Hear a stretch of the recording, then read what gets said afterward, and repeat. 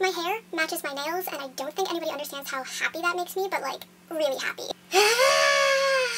I hate synopsises. It's. I suck at them.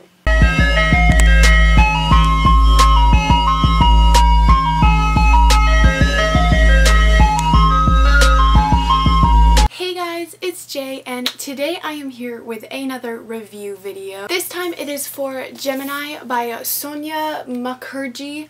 I think I said that correctly. I always butcher it. I ended up giving this book a 4 out of 5 stars on Goodreads. I absolutely adored it.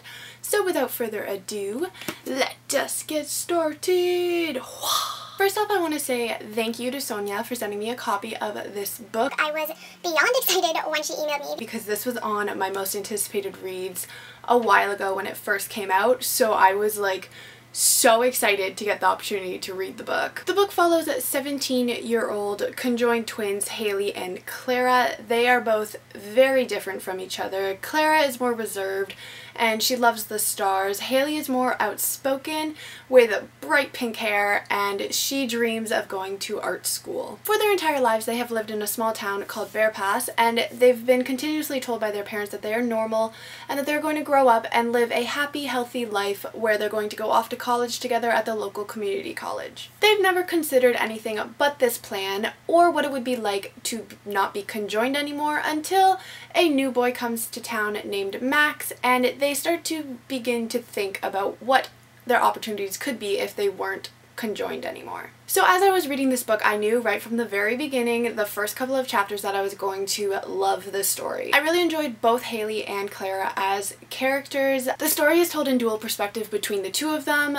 and I loved being able to see each situation that they were thrown into from each of their perspectives because they both brought a very unique and different look into the situation that they were in. It was really interesting to see the issues that a lot of teenagers face, but it was almost like their situations were doubled because of the circumstances that they were in. They're both very unique from each other and at times it was difficult to tell the two points of views apart, but you could figure it out if you paid closer attention. Sometimes my mind just wanders, so that might just be a problem with me. But I really think that the voices were unique in their own thoughts. I found both of the twins very relatable even though they were very different from each other. I loved reading about the decisions that they came to and how they came to them separately but also together. Overall the relationship between the twins was really heartwarming and I loved reading about it. The secondary characters of the story were also really great additions. Clara and Hailey's parents were both really well developed in my opinion. It was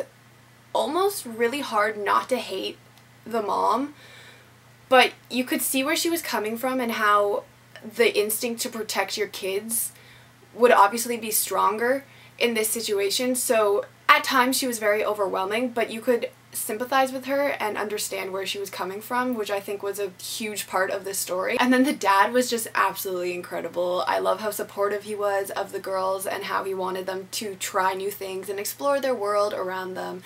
It was just really nice to see that in parents. I think that the topics of bullying and friendship and family were really well explored and developed in this book. I think that is going to help so many teenagers and young readers going through the same situations that the twins face and I think that the overall message of like self-acceptance and following your dreams was really well done and put out there. I think that the writing style flowed really well and it was incredibly easy to read. I read it in a day. I think the plot and the concept behind the book was really well done. It kept me intrigued the entire time. I never got bored with the story and I wanted to know what was going to happen next with the twins and all of their situations that they were facing. I definitely recommend the book if you're looking for something cute but also makes you think about other serious topics because this book does a really great job in making you think. Well, as I said, overall, I gave this book a 4 out of 5 stars. I found it really cute, really funny,